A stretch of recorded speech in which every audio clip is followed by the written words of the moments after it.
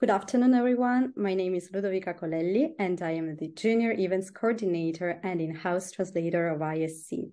Today, I'm here with Dr. Greenberg, who is going to teach two webinars on May 5th, 2023, titled Unblocking Blocked Emotions, and on June 1st, titled Working with Shame and Anger.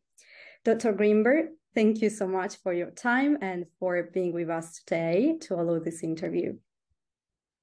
My pleasure. Since it is not the first time ISC invites you to hold webinars, I would like to refresh a bit our listeners' memory about your background. Dr. Greenberg is a distinguished researcher, professor emeritus of psychology at York University in Toronto, who has authored the major uh, text on emotional focused therapy, such as Emotion Focused Therapy of Forgiveness and Letting Go in 2019.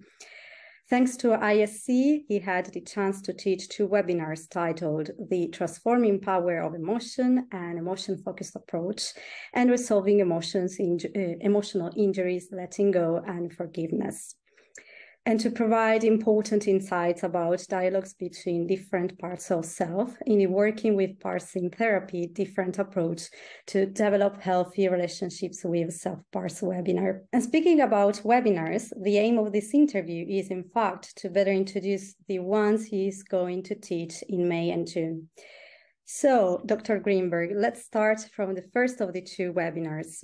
It will be on May 5th, and it is titled Unblocking Blocked Emotions. Please tell us about it, how the webinar will be structured, and also the clinical skills that therapists will acquire. Well, it will be structured as a set of, I mean, I will lecture and show videotapes, videotapes of actual processes of uh, real clients demonstrating what I'm talking about.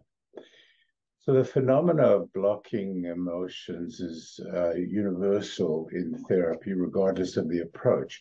Now, I've developed emotion-focused therapy, so we focus specifically on working on different kinds of emotional problems.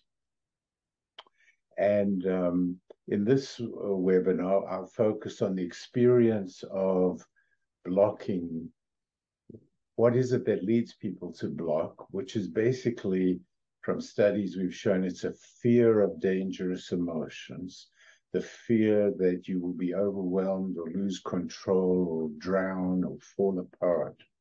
So it's not a fear of the pain of the emotion, it's a fear of the disintegration of yourself that is uh, what's at issue. And then we will look at how do you work with helping people unblock or overcome this fear.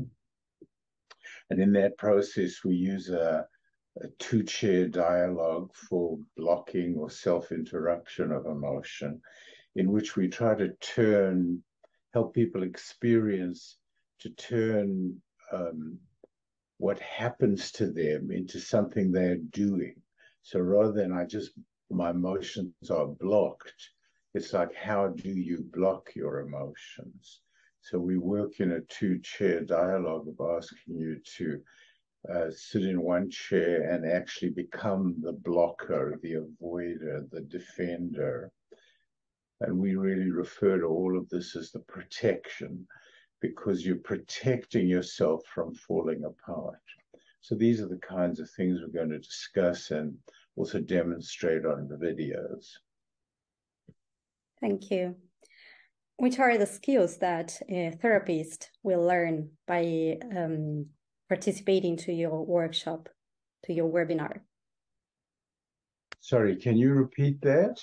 Yeah. So, which are the what are the skills, the main skills that therapists will learn? Well, I mean, firstly, they'll learn to it's more of an understanding, understanding what blocking is about, Okay. Um, and then the specific skills that I learn is the skill of two chair dialogue for self interruption. Um, so we call this a two chair enactment. And they learn the moment by moment skills of working with the blocking of emotion and, and how to help people unblock the, the blocks. Okay, thank you so much. I think that all participants will find it very interesting. Now I would like to focus on the second event, which is on June 1st, and it is titled Working with Shame and Anger. Also in this case, I'm asking you to give us more information about the topic, the structure of the webinar, and the clinical skills that can be acquired.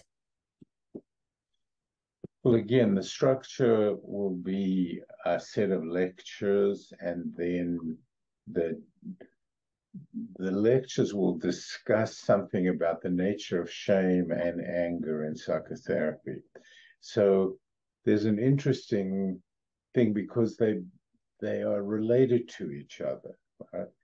Uh, because when people have underlying shame, they often don't deal with their shame. They show anger. They get angry. Uh, so we're going to talk about the relationship between shame and anger. And often, if people block their anger because they're ashamed, that if they get angry, they look like they're out of control. So um, it's not just that there's a single way of working with shame and a single way of working with anger.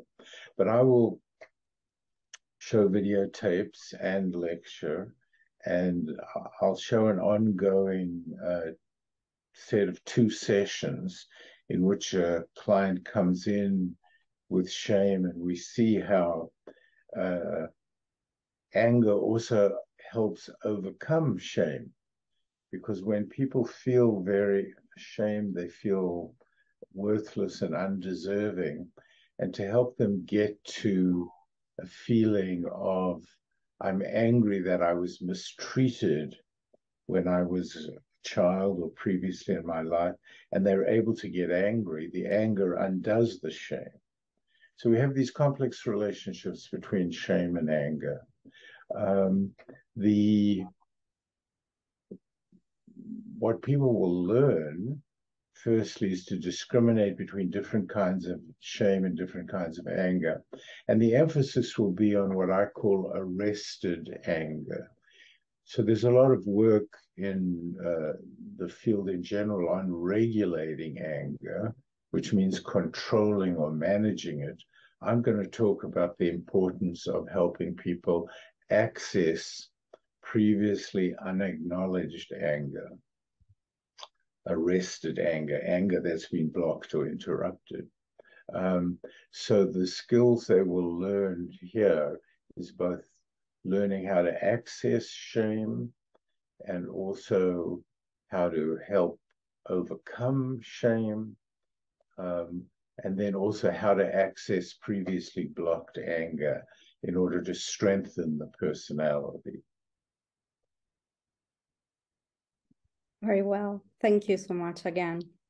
I believe that your webinars will be very inspirational for clinicians who will attend your webinars.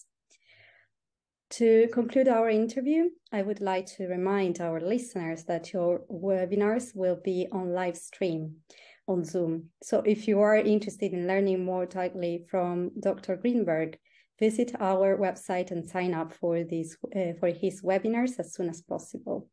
Once again, thank you so much, Dr. Greenberg, for your time and your interesting insights about your webinars. Thank you so much, everyone, for listening this interview, and I hope that you will join us for Dr. Greenberg's webinars on May 5th and June 1st. Thank you.